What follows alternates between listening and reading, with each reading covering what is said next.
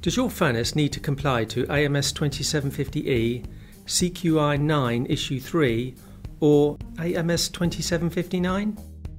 Accurate control of the furnace temperature and carbon potential of the atmosphere make it easier to meet the requirements of industrial heat treatment standards. Depending upon your specific needs, there are several control solutions designed to help you achieve surface hardness specifications, case depth profile from carbon diffusion, conforming microstructure. Let's now look at your specific control needs. Does your heat treatment process require carbon control?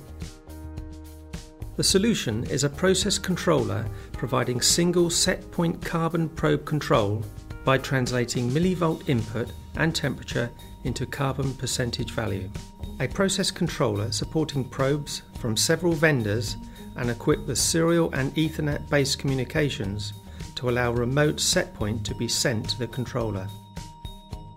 Does your heat treatment process require carburizing cycle control?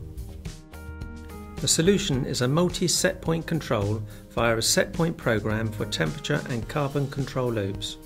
Higher carbon percentage values can be set for the boost segment typically 1.0 to 1.2%, and lower carbon for the diffuse segment, typically 0.7 to 0.9%.